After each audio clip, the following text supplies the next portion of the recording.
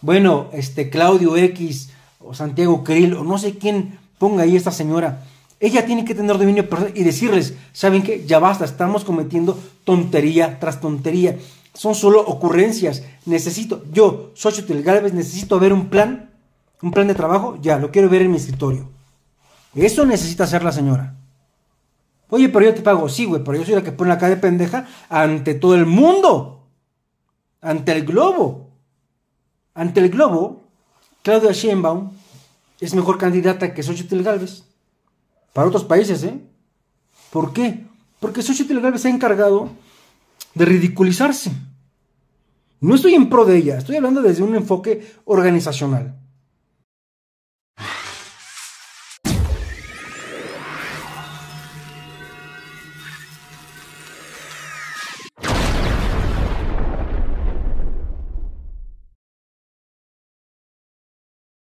Hola, hola, ¿qué tal amigos y amigas de YouTube? Los saluda su amigo Robert. Toma, la dejan completamente exhibida a Xochitl Galvez.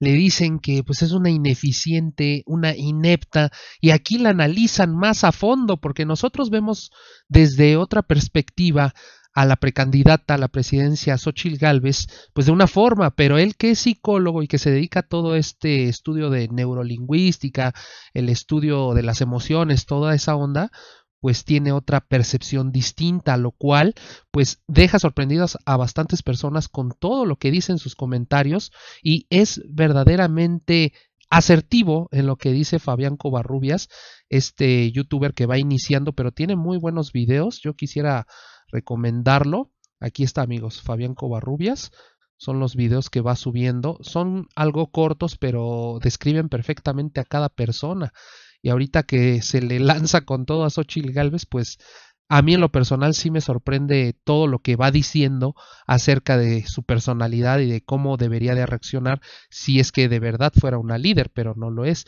Se deja mangonear por corruptos como lo es Marco Cortés y Alito Moreno y principalmente por Claudio X González. Aquí les voy a mostrar este video donde ustedes también se van a sorprender de todo lo que dijo aquí. Ahí les va. Hola, nuevamente voy a hablar de Xochitl Galvez desde un enfoque organizacional. Para cuando tú estás, cuando tú o yo estamos en una empresa, todos tenemos jefes. Yo he tenido jefes muy, muy rigurosos. Y yo soy una persona muy sumisa, soy, yo soy un soldado. Yo hago mis videos y todo, pero yo soy un soldado. Yo trabajando soy un soldado. Yo lo que me digan, yo recibo órdenes. Pero, pero si yo me empiezo a dar cuenta, gracias a mi pensamiento analítico, gracias a mi pensamiento estratégico, gracias a mi experiencia, gracias a mi praxis, gracias a mi sentido común, gracias a mi instinto, gracias a mi, a mi preparación académica, a mi preparación laboral, me empiezo a dar cuenta que estamos mal, llega el momento que tienes que levantar la mano y decir, jefe, espérame, Sé que no te gusta que te contesten, pero ¿qué crees? Andamos mal. Porque fíjate que ya lo hice así, pero pasó esto. Ya lo hice así, pero el costo subió. Ya lo hice así, minimizamos el coste, pero arriesgamos la entrega. Arriesgamos a el ROI. Arriesga, ¿Saben? Xochitl Galvez no tiene dominio personal. No tiene autodisciplina.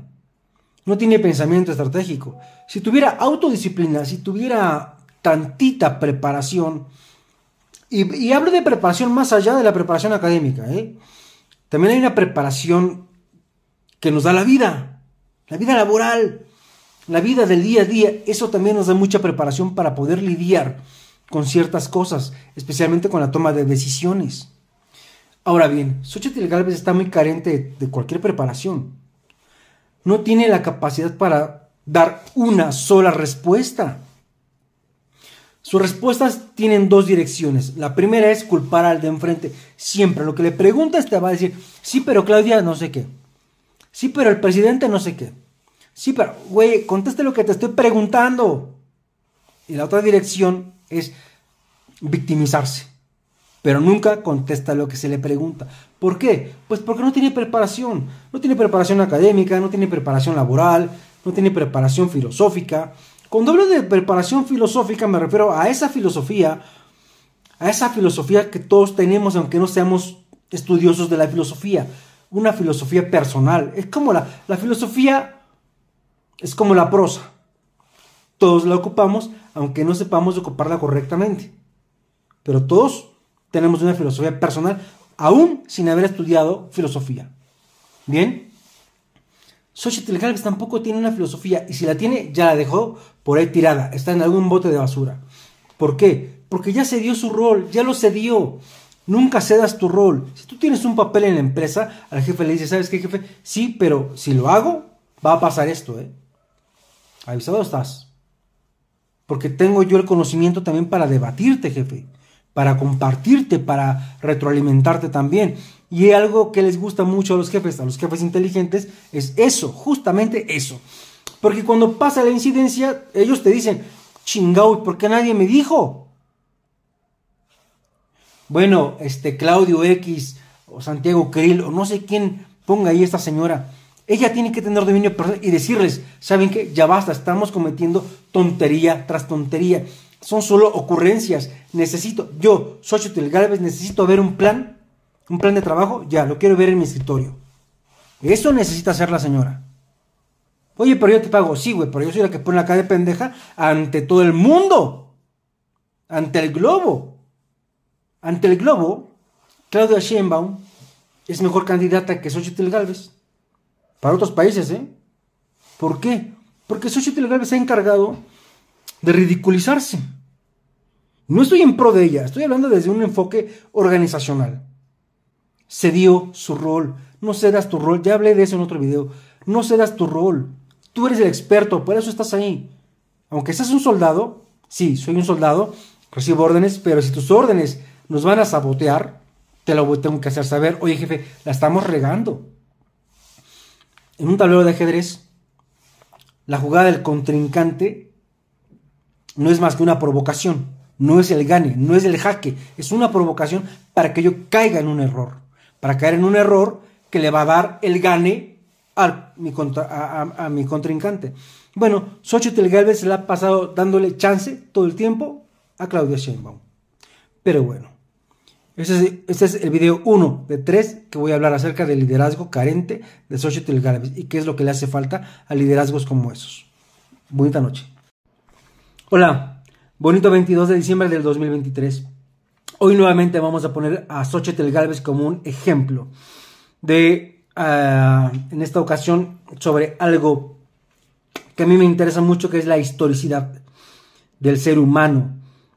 Y en el transhumanismo eh, se estudia la historia del ser humano, en dónde estábamos, en dónde estamos y hacia dónde vamos, ¿no? Y me vino a la mente algo muy interesante que Rece dice así. El hombre, el ser humano, el ser humano, no la mujer, ah, yo, las mujeres también, el ser humano, pero dice, el hombre, tomando en cuenta la palabra hombre como un ser humano, el hombre que no conoce su historia está condenado a repetirla. Mm, es mentira. Es mentira porque las contingencias y las condiciones no son las mismas. Yo no soy el mismo de hace 15 años. No, no, no tiene sentido. Aparte, esa frase está muy enfocada al individuo, pero realmente debe estar enfocada al tema social. Y cuando hablamos del ser humano se refiere, debería referirse, o yo lo quiero comprender y lo comprendo de esta forma, es el colectivo que no conoce la historia, su historia está condenado a repetirla. Y cuando me refiero a que está mal, es porque el conocer tu historia no te va a dar la respuesta, te va a dar opciones de análisis. No opciones de A y B, no. No te va a decir qué es bueno y qué es malo. Te va a decir qué podría ser bueno y qué podría ser malo dependiendo la contingencia. Es, es eso. Claro, es un tema más de fondo, es para una clase filosófica, psicofilosófica. Pero en un general es eso, son más opciones de análisis. Hace unos días veía un documental acerca de la martanza, no puedo decir la palabra, del colegio de Columbine en Estados Unidos, ¿recuerdan? Y entre los comentarios, interesantes los comentarios, había muchos jovencitos que decían, qué interesante documental, Dios nos libre de que nos pase algo así. Imagínense que pasara eso, qué loco. Bueno, jovencitos, alguien no les dijo que eso sí pasó. Es como lo que hizo Beatriz Pajes o la Beatriz Pajes, no sé, colocando en la revista Siempre, en la portada de la revista Siempre, una silueta de Claudia Sheinbaum con un cintillo aquí eh, con la imagen de la suástica. Eso, ese nivel de estupidez no lo puedo creer. Eso es carecer de conocimiento, carecer de, de empatía, carecer de intelecto, carecer, carecer de todo, pero abundar en mezquindad. Ahora bien, me viene a la mente Fox con algo que yo acabo de ver. Hay la importancia de sí conocer nuestra historia para tener opciones de análisis y no seguir siendo estúpidos. Muestra. Bueno, Donald Trump dice eso, que, es candidato. Yo no me lo quiero ver lavando los baños de su casa o de algunas casas de personas que viven en Estados Unidos. O sea, los migrantes, los migrantes hacen un trabajo impresionante en Estados Unidos. Sí, efectivamente, hacen, hacen un trabajo impresionante en, en el área espacial, en el área de la educación, en el área financiera, en el área de la manufactura, en el campo, en la industria de la limpieza, pero no nada más en los baños, señora ignorante.